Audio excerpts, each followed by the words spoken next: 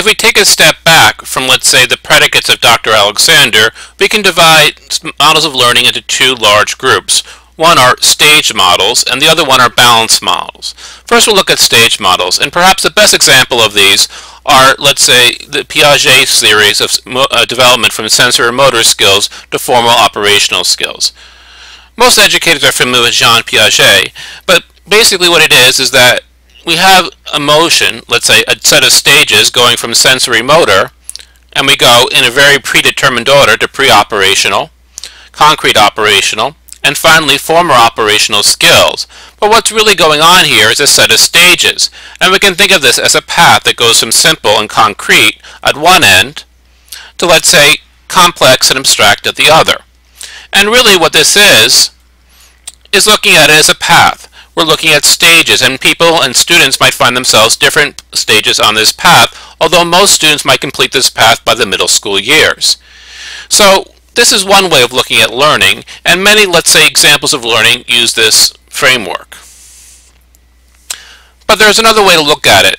You might think of these as balanced models of learning that look at, let's say, more not so much as the mind developing, but the mind is having different elements that are kept in balance, and people have different strengths and weaknesses, and it's a process of, let's say, balancing those out.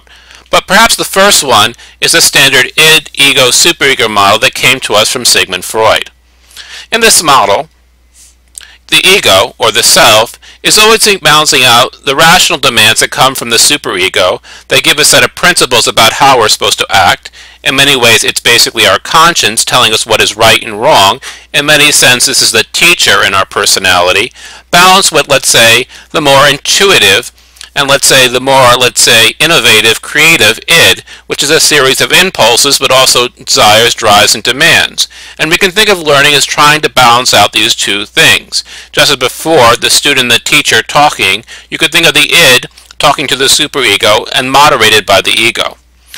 Perhaps a more familiar one is Gardner's, let's say, multiple intelligences. And I will not give too much of a description here, but basically students have different intelligences, and they can be strong and weak in different areas. So rather than just think of intelligence as one scale, we can think of it as multidimensional. However, we can also think of different learning styles, and therefore we might have the same content, but we might have different learners, and we teach those learners in different ways. For example, for a visual learner, you might want to show them the content. For an auditory learner, you might want to tell them and they might learn better in that way. And finally, if you have a tactile learner, they might want to actually do something, use their hands, and therefore approach the content in the same way. These are all three different ways to approach the same material.